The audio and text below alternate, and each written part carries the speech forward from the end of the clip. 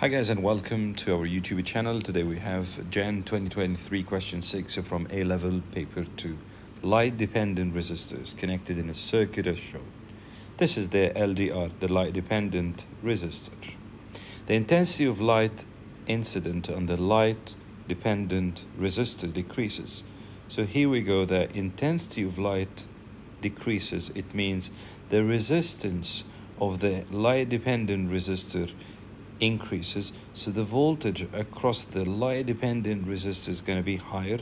So there is a larger uh, portion of voltage across the light dependent resistor. Keep in your mind if the resistance of the light dependent resistor increases and this one added to the resistor of the fixed resistor because they are connected in series so I would say the R total equals R1 plus R2 2.